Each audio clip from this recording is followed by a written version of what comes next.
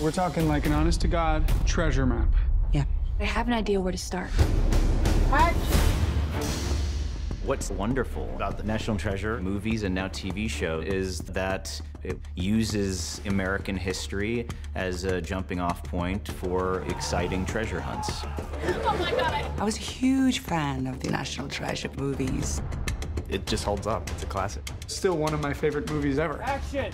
What sets the television show apart, a different world now. Exploring American history was a lot different 20 years ago, and I was a young guy on set. Now I'm not.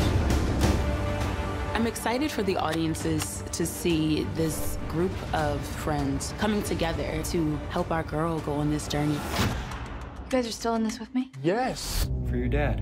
And all that gold. Jess is a 22 year old dreamer. She is tenacious and she embarks on this Pan American treasure adventure. Everything I thought I knew about my mom. My dad is a crazy riddle that can only be solved by finding this treasure.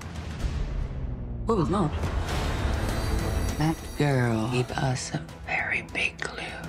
I play Billie Pearce. She's a black market antiquity dealer, and she plays a cat and mouse game with Jess. We find the three boxes. We find the treasure. And the audience, they're figuring it out as we are figuring it out. The situations we're getting into is absolutely bananas. Someone following us. It hasn't lost that historic national treasure vibe. Once I start something, can't stop.